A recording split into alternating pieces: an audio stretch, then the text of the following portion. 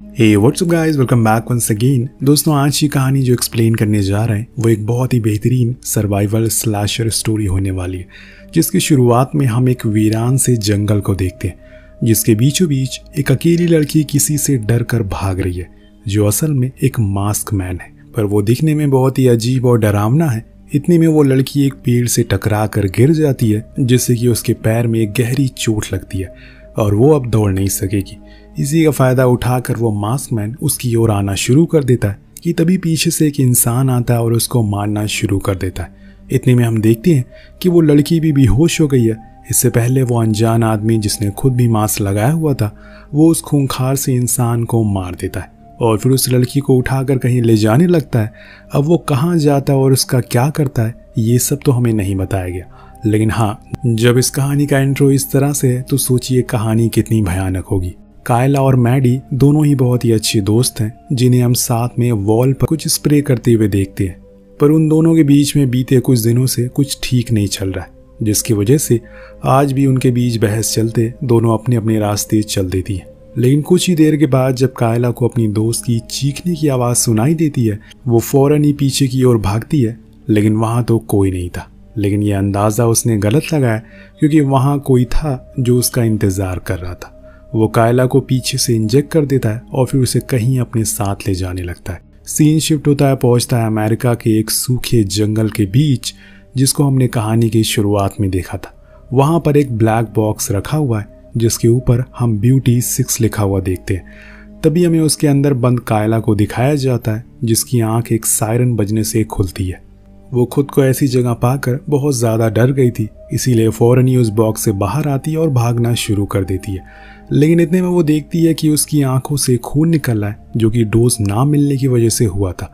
क्या कायला को कोई बीमारी है, या फिर उसके साथ कुछ किया गया है, ये तो हमें कुछ देर में पता चल जाएगा।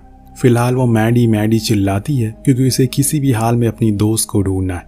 लेकिन इससे पहले कि उसे एक पेड़ के नीचे किसी लड़की की सड़ी हुई लाश दिखाई देती है, जिसे देखकर वो और ज़्यादा डर जाती है, और इतने में दो लड़कियाँ पकड़ लेती हैं और चुप रहने को कहती हैं। वो लड़कियाँ अपना नाम एलिस और शीना बताती हैं और पूछती हैं कि क्या तुम भी बॉक्स में बंद थी तो कायला कहती है कि हाँ लेकिन ये जगह कौन सी और मैं यहाँ तक पहुँची कैसे?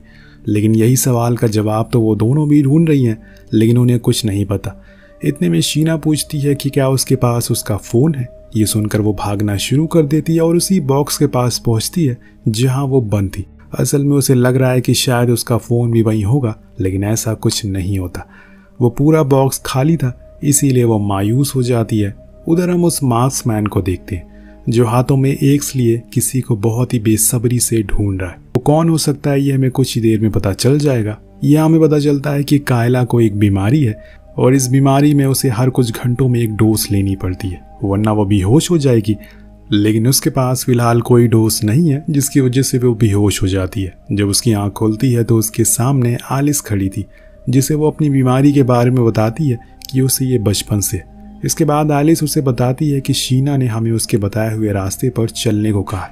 इसीलिए वो दोनों उसी रास्ते को फॉलो करते हुए आगे बढ़ते ताकि वो इस जगह से बाहर निकल सके, इतने में बीच में उन्हें एक और बॉक्स दिखाई देता है। सेम उसी तरह का जिसमें कायला को रखा गया था।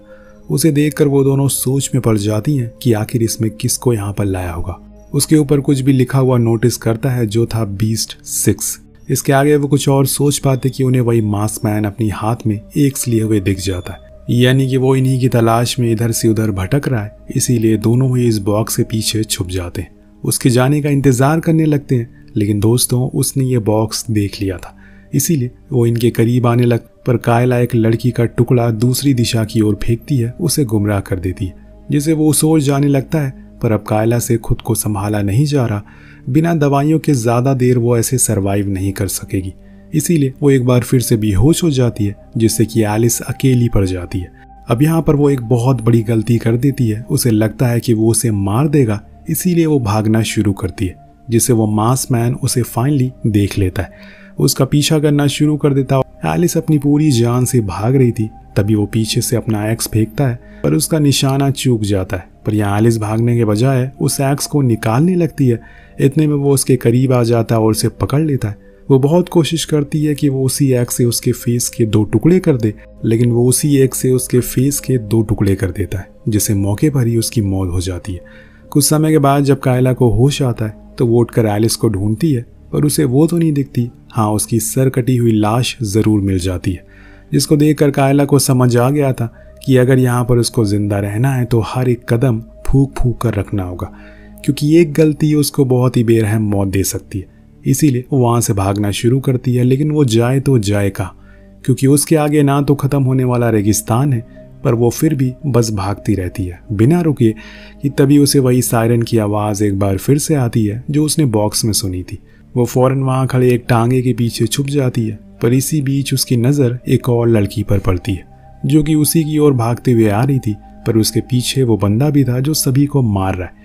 जी हाँ वही मास्क मैन जो अपनी एक्स फेंकता है, जो जाकर सीधा उस बेचारी लड़की की पीठ पर लगती है, और वो वहीं गिर जाती है।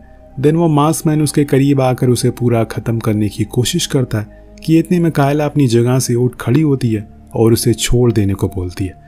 उसे देखकर वो मास्क मैन वेव करता है, पर इतने में उसके पीछे से एक दूसरा मास्क मैन आता है, जिसके कारण दोनों में लड़ाई होना शुरू हो जाती है।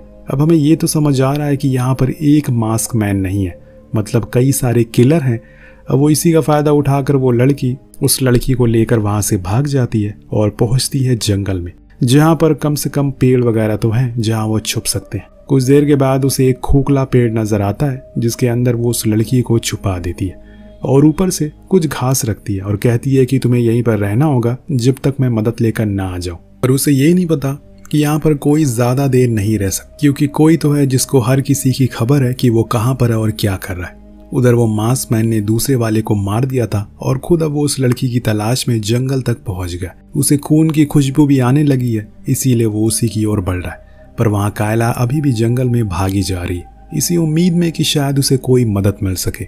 लेकिन ऐसा हो नहीं पाता क्योंकि बहुत दूर जाने के बाद उसके हाथ कुछ भी नहीं लगता। वही दूसरी ओर हम उस मास मैन को देखते हैं, जिसे वो लड़की दिख जाती है, इसीलिए अब वो उसे घसीटता हुआ पेड़ के पास लेकर आता है। अब वो लड़की अपनी जान की भीख मांगती है कि उसके साथ वो ऐसा क्यों कर रहा है। लेकिन वो कहाँ किसी की सुनने वाला था? उसने तो उसे पेड़ से बाँध कर उसके दोनों हाथ ही उखाड़ दिए थे, जिससे मौके पर ही उसकी मौत हो जाती है। उधर कायला के पास भी सेम ऐसे ही मास मैन पहुँचता है उसे मानने ही वाला होता है कि तभी वो पीछे मुड़ जाती है और उसे डरने के बजाय उसका डट कर सामना करती है, जिससे आखिर में वो मनने ही वाला होता है कि इतने में उसका मास्क खुद ब खुद फट जाता है, जिससे कि उसकी मौत हो जाती है। पर क्या ये किसी तरह का गेम है जिसमें सिर्फ़ लड़कियाँ हैं? शायद कुछ लोग हैं उनकी विल पावर को चेक कर रहे इन खूंखार दरिंदों के सामने आपको क्या लगता है? और आखिर में यह मास्क मैन अपने आप कैसे मर गया? खैर, अब लड़ने के बाद कायला रुकती नहीं है। वहाँ से आगे की ओर निकल जाती है। जहाँ पर उसे कुछ कैबिन्स दिखाई देते हैं, जिन्हें देखकर लग रहा था कि इसमें बरसों से कोई आया नहीं है। वो उसके अंदर जाती है, लेकिन कुछ ही देर बाद उसे पीछे से हलचल सुनाई देती है। और इसीलिए वो बिना देखे उस पर वार कर देती है। जब वो मुड़ती है तो देखती है कि वहाँ भी उसी तरह एक लड़की मौजूद, जिसको उसने घायल कर दिया है, जिस बात से उसे बहुत ही पछतावा होता है। इतने में हम वहाँ पर शीना को देखते हैं। वही शीना जिसकी शुरुआत में हमने देखा था। जिसके साथ रोज नाम की लड़की भी है। कायला उन्हें समझ उसने ये सब जानबूझकर नहीं किया, ये बस अचानक से हो गया। पर वो कुछ कहती नहीं है और उसने पास रखी कुल्हाड़ी को लेकर चली जाती है। लेकिन उसने रोज को वहीं छोड़ दिया था। इस दौरान वो फिर से बेहोश हो जाती है। अब डोज ना मिलने की वजह से, लेकिन ऐसा हर बार ही नहीं हो सकता, क्योंकि इसके काफ़ी साइड इफ़ेक्ट भी हैं, जो उसे आगे जाकर झेलने पड़ेंगे। इसी बीच जब वो बेहोश थी तो उसने मैडी का सपना देखा, जो ज़िंदा कहीं मदद की भीख मांग रही है। कि तभी उसकी आँख खुल गई और उसने अपने पास रोज को बैठा हुआ देखा, जो बहुत डरी हुई है। इसीलिए वो उसके पास जाकर अपने सपने के बारे में बताती है और समझाती है, जहाँ तक मुझे लगता है कहीं से मॉनिटर किया जा रहा है, इसीलिए तुम्हें हिम्मत रखनी होगी। क्योंकि इसमें जितनी हिम्मत रखोगे, तुम उतनी जल्दी जीत मिलेगी। इसी बीच उसके दिमाग में बात आती है कि आखिर वो लोग उन्हें देख कैसे रहे, जो इस गेम को खेल रहे हैं। अगर ये गेम है तो अचानक से उसे ख्याल आता है कि उस लड़की जो मरी हुई थी वो उसकी आँख निकालती है, जिसके अंदर उसे वायर्स मिलती है। मतलब उसके अंदर कैमरा लगा हुआ था। अब आप समझ गए होंगे कि उसका सवाल का जवाब उसे मिल गया था। सच में यहाँ पर एक गेम चल रहा है। तभी वो रोज की आँखों में बहुत ही अजीब तरह से देखने लगती है और कहती है कि हमें मॉनिटर किया जा रहा है। खुद की ही आँखों से, लेकिन उसकी बातें सुनकर वो उसे पागल समझ रही थी। अब कुछ देर बाद वहाँ पर शीना भी आ जाती है, जिसको देखकर रोज थोड़ा अच्छा महसूस करती है। वो उस लड़की की आँख को वहाँ पड़ी हुई देख कर काला की ओर देखती है। तब वो उसे बताती है कि ये एक गेम चल रहा है यहाँ पर, एक लाइव बूचर गेम जिसमें कुछ लोगों को छोड़ दिया जाता है हमें मारने के लिए, और हम कैसे भी करके इसे जीतना है, वरना हम सब मारे जाएँगे। तभी उन्हें बाहर किसी के आने की आवाज़ आती है। वो असल में वही मास्क मैन था, जिसे डर कर सभी छुप जाती है, पर वो फिर भी अंदर आ जाता है। इतना ज़्यादा डर जाती है कि वो उसे ढूंढ लेता है और ले जाने लगता है। पर इतने में वो दोनों लड़कियाँ बाहर आ जाती हैं और उसे डट कर सामना करती है, जिससे वो गेट के बाहर आ जाता है। तभी उसका मांस फट जाता है, यानी कि एक और लेवल इन्होंने पार कर लिया।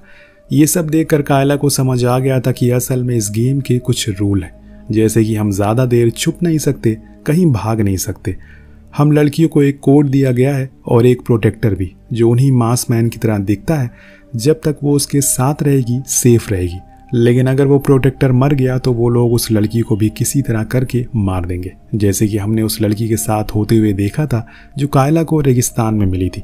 और उसके प्रोटेक्टर उसे बचाने के लिए आया था, लेकिन मारा गया। और फिर वो भी बाद में मारी गई। उन दोनों को बताती है कि इस गेम में जो लड़की सबसे आखिर में बचेगी, वही इस गेम को जीतेगी। जिसे सुनकर शीना उन दोनों की ओर बहुत ही अजीब नज़रों से देखती है, जैसे कि वो समझ गई है कि अब उसे क्या करना है। और ये बात कायला भी नोटिस कर लेती है। इसीलिए वो रोज़ को लेकर दूसरे घर में जाती है और उसे प्रॉमिस करती है कि वो उसे किसी भी हाल में कुछ भी नहीं होने देगी। अगर वो शीना के साथ रहती तो वो उसे मार देती, क्योंकि उसके लिए हम दोनों को मानना ज़्यादा आसान है एज ए कंपेयर उस मास्क मैन के। अब ये बात रोज़ भी समझ जाती है, इसीलिए वो उसका साथ देती है। दिन दोनों एक प्लान बनाते हैं जिसके लिए उन्हें उसी घर का पीछा एक गड्ढा खोदना है। जिसमें से पहले तो कायला निकलती है, लेकिन जब रोज़ की बारी आती है तो वो एक वायर में फंस जाती है। वो बहुत कोशिश करती है किसी भी हाल में उसे बाहर खींचने की, लेकिन ऐसा हो नहीं रहा था कि तभी वहाँ पर वो मास्क मैन उसकी आवाज़ सुनकर आ जाता है। घर के अंदर जाकर उसे अंदर से बाहर खींचना शुरू कर देता है, इसीलिए कायला भी अंदर आ जाती है। फिर दोनों के बीच में लड़ाई होना शुरू करती है, लेकिन इस बार कायला हारने लगी थी। वो तो सही समय पर रोज़ ने पीछे से हमला कर दिया। अगर वो ऐसा नहीं करती तो वो मारी जाती। उसके हमले की वजह से वो मारा जाता है। अब कायला देखती है कि शीना कुल्हाड़ी लेकर कहीं जा रही है। इसीलिए वो भी उसका पीछा करती है और उसे रोक कर समझाती है कि तुम ऐसे सबको मार कर इस गेम को जीत नहीं सकती। तो तुम्हें किसी न किसी की ज़रूरत तो पड़ेगी लेकिन शीना को गेम के रूल अच्छे से पता है, इसीलिए वो कोई भी बेवकूफ़ी नहीं करेगी। पर इसके लिए उसके पास समय भी तो होना चाहिए, क्योंकि अगले ही सीन में हम उसके पीछे कायला के प्रोटेक्टर को देखते हैं, जिसने शीना के सिर के दो टुकड़े कर दिए थे। उधर रोज को शीना का प्रोटेक्टर घसीटता हुआ ले जाने लगता है और उसे मारने की कोशिश करता है। लेकिन शीना के मरते हुए उसके प्रोटेक्टर का भी सर फट जाता है, जिससे रोज फ्री हो जाती। मतलब दोस्तों प्रोटेक्टर तभी तक ज़िंदा रहेगा जब तक उसका साथी ज़िंदा रहेगा। अगर उसका साथी मर गया तो प्रोटेक्टर अपने आप ही मर जाएगा।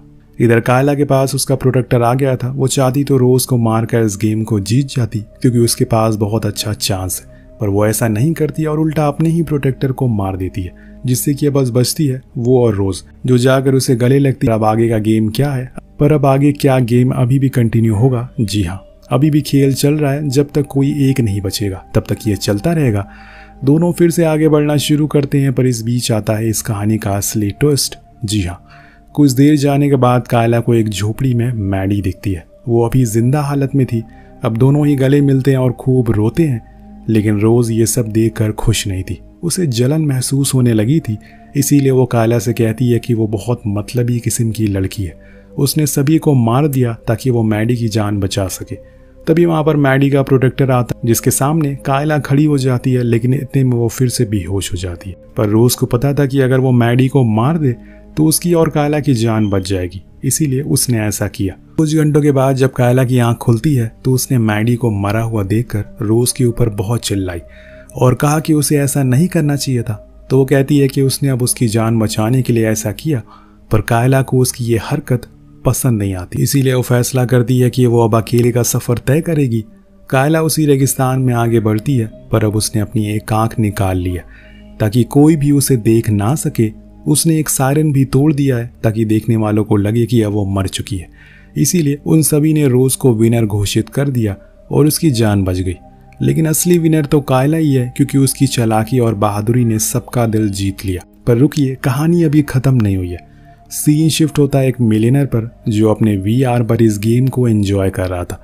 लेकिन एरर आने की वजह से वो परेशान होकर उसे फेंक देता है और एक इंसान को कॉल लगाता है। इतने में उसके पीछे हम कायला को काला चश्मा पहना हुआ देखते हैं, जो उसे करंट देकर कुर्सी पर बाँध देती है और फिर पूछताछ करना शुरू करती है, जिसमें वो बताता है कि ये गेम उसने नहीं बनाया, वो तो बस एक मेंबर है। इस गेम को बनाने वाला मेन एडमिन अमेरिका में है और सारी लड़कियों को लाने का काम वही करता है। ये सुनते ही कायला उसका गला काट देती है और कहानी इसी दृश्य के साथ खत्म हो जाती है। इसके बाद क्या हुआ? क्या वो उन लोगों तक पहुँच पाई? क्या अभी भी ये गेम चल रहा है? ये सब हमें नेक्स्ट पार्ट में देखने को मिलेगा। तो उसके लिए कॉमेंट ज़रूर करिएगा। मिलते हैं अगली वीडियो में। Thank you so much watching peace out